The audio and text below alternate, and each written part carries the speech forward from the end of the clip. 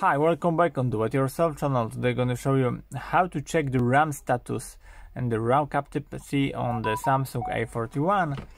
To do this, go to the settings here and search for the device care here. And you should see a um, memory option here. The phone now is checking about the memory and you should see how many memory you have and how many memory is used for your application.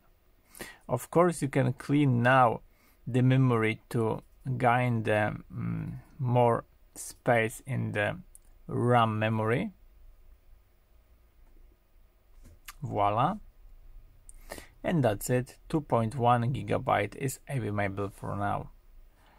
So, I hope the video is helpful for you. If yes, you can leave like, leave comment and leave subscribe and see you by next video. Hey!